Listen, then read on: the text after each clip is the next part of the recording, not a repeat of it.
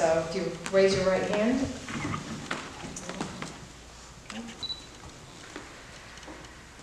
I, Desiree Gerald Mills, I, Desiree Gerald Mills, do solemnly swear do solemnly swear that I will support, protect, and defend that I will support, protect, and defend the Constitution and government of the United States the Constitution and government of the United States and of the state of Florida, and of the state of Florida, that I am duly qualified that I am duly qualified to hold office under the Constitution of the state, to hold office under the Constitution of the state, and that I will well and faithfully perform and that I will well and faithfully perform the duties of Levy County Board of County Commissioner District 3, the duties of Levy County Board of County Commissioners, District 3, on which I am now about to enter.